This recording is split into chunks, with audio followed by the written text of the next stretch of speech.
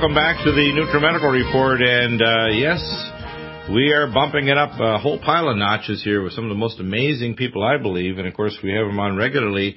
Freeman, of course, if you want to understand that the world is run by those who understand numerology, hyperdimensional, occultic uh, phenomena, the very nature of the spiritual world ruling over the physical world, and that's why whether it's good or evil, it's being used to control our world. And the fact is that the globalists that run our world are uh, experts in this uh, technology, if you want to call it, and they use it for evil. They use it for control, and they uh, are masters of it. And it's far beyond those things that look to their face necessarily as evil, like uh, Satanists.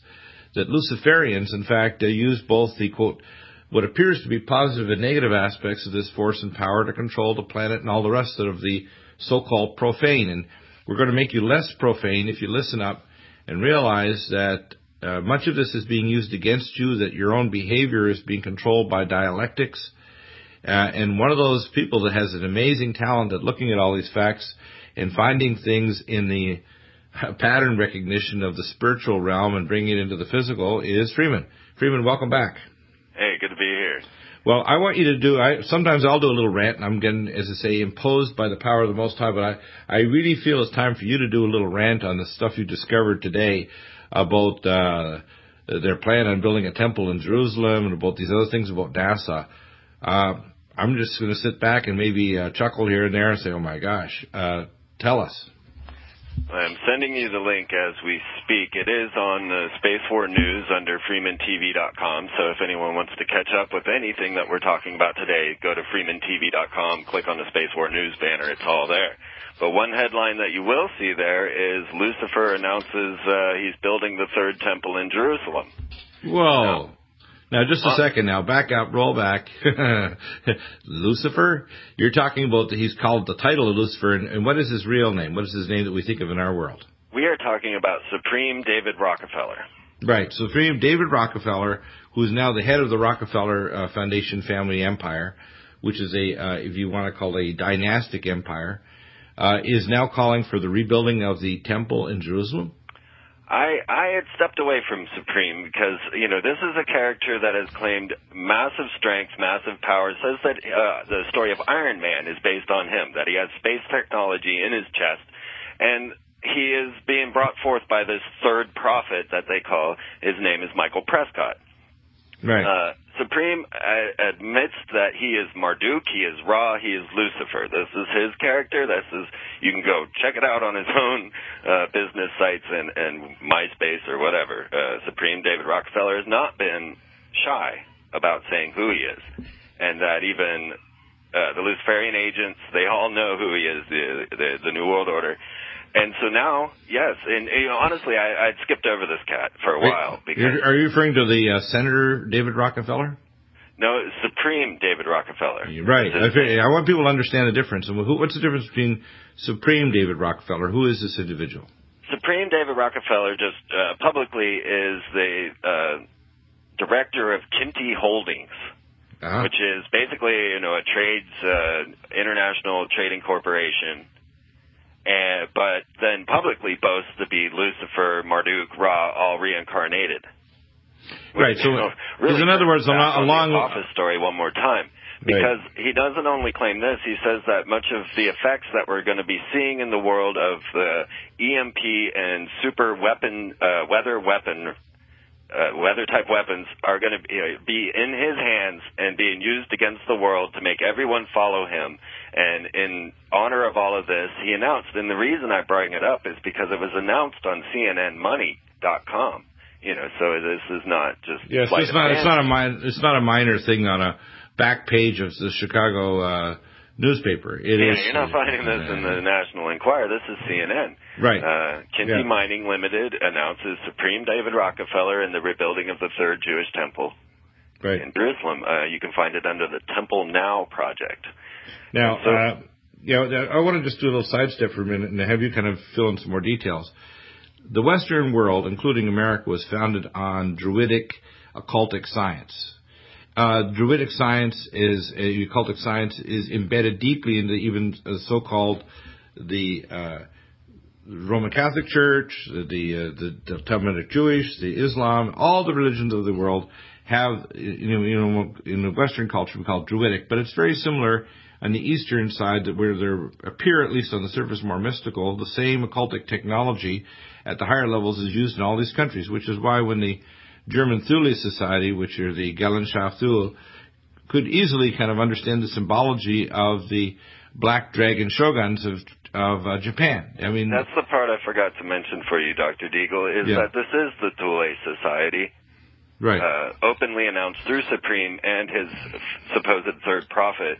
Uh, Michael Prescott is that they are the Thule Society. They, they, that's exactly who they say they are. Right, and when of course the Thule Gesellschaft were the basis for the occult technology to use uh, channeling uh, to these transdimensional entities to get the occultic science for anti-gravitational space technology, the basis for the V2 rocket system, genetic upgrading to create super uh, soldiers, etc. All started with the Thule. It's interesting. It's the same individuals who are now making these announcements, isn't it? It is amazing, and they are very open about it. I think that their website is lucifer.com. I'll have to double check on Just that. Like you can Lucifer, like Lucis Trust, uh, which is interesting. Uh, uh, the uh, Alice Bailey and all these others would be very proud of them from their from their purchase within the realm of of Satan. Yes, and let me just throw out a few Luciferian connections for people so that you see, like the the film company. I've, I've gone over this, but the film company that that put out Arnold Schwarzenegger with the Sixth Day and Cloning, they show you a Lucifer friction match as their opening scene. If we start to realize that our corporations are all encoded with these occult symbols, so when you see a shell and you see a pentagram of, of Texaco and shell, uh, you must realize these are symbols of Venus, and Venus is coded Lucifer. Look Lucifer up in the dictionary, you'll see Venus. So your gas companies are coded to Venus to Lucifer. Uh, when we get to Lockheed Martin and their logo, which is a broken pentagram, and that is a very dark ritual magic when you start to get into understanding the geometry and when you break the geometry. It's also a coded compass and square. But like uh, Lockheed Martin, uh, Orbital, and Pri- uh, SpaceX will be the and Boeing, uh, the the new space program that we will be moving into now that Obama has officially ended NASA on the anniversary of the Columbia disaster. Isn't that amazing Columbia timing? Goes back to the goddess Venus and Lucifer, and yeah. Yeah, I mean, uh, you make some amazing connections, and the neat thing is you made the connection between the spiritual realm. Please continue, because this is a, as I say, this is your rant. This is important that people grasp these connections, because if they don't see the symbology in all the corporations and Obama literally announcing the end of NASA on the anniversary of Columbia. I mean, this is weird. It is, and and then of course this is no surprise to me. This is something that I have been covering uh, since Obama went into office. This is why I made the movie Obama Cloning in the Coming Space War. Uh, I've been telling you about this for a year now. Uh, this is the very plan that's been enacted. So when we start to think about, okay, why did we bomb the moon? Why did America bomb the moon? We had already, you know, India had launched and found water on the moon with their Chandrayaan 1. Uh, China had launched and crashed their probe into the moon with the Selene probe. And that was uh, almost well, it was almost two weeks before we even launched our probe to go crash into the moon when China crashed their probe into the moon. Uh, we had the the Jap- Japanese Kaguya orbiters circling the moon, but yet two years later, we still had to launch the LRO. Okay, these are multi, multi million dollars. It cost $79 million to, to crash the probe into the moon. When it had already been done by India, it had already been done by China, uh, Japan, and so we have to start asking the question of, you know, what are they trying to get us to believe with NASA? Because they have been announcing the deficit and crash and burn of NASA and the moon program since before we launched an or, a probe to find a moon base, right? That was their their admission, saying we we crashed this uh, rocket into the moon so that we could determine whether we could put a base there. Yeah, sure, but they have been there since the early 1960s, and they want to lie to the public about this because it's part of their game. Well, it gets deeper. Yeah, I know, much deeper. We'll be back in a moment.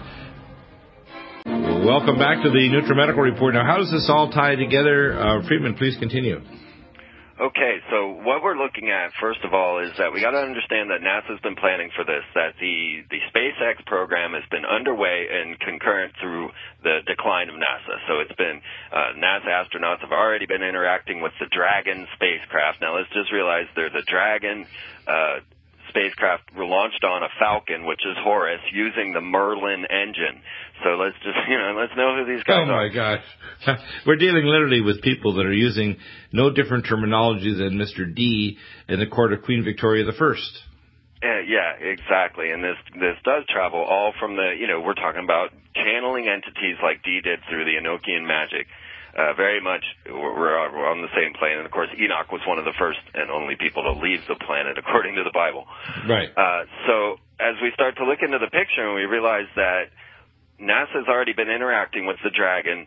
Uh, they already launched the UHF communications for Dragon on the last Atlantis launch, and I actually thought maybe they would use that to bring out SpaceX to the public, and, and the Dragon would save the Atlanteans, but that didn't happen.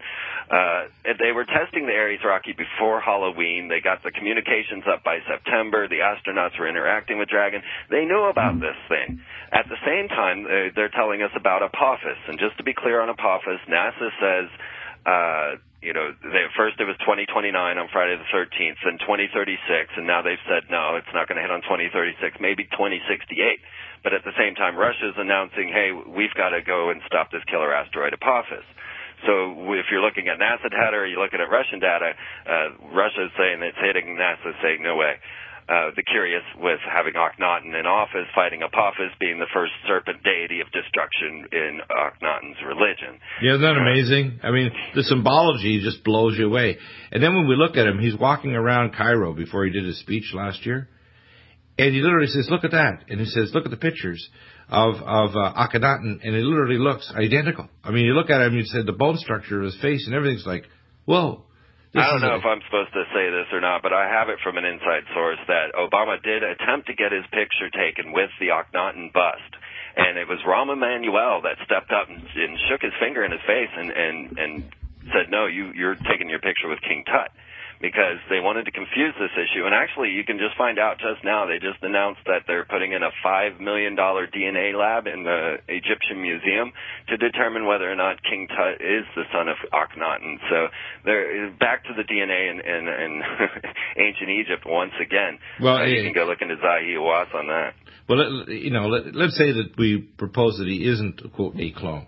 The fact is, if you look at the bloodlines of his father, in, uh, in, it was coming from uh, Kenya. The bloodline actually is the pharaonic bloodline that uh, passed through the because uh, his father was was Muslim, right? Uh, and if you actually look at the bloodlines, it's very possible that he actually could have uh, Egyptian bloodline uh, in him. Uh, he's not just quote black African; he's actually black African Arab, is what he is. And an, an Atlantean specialist, uh, one that studies Atlantis, uh,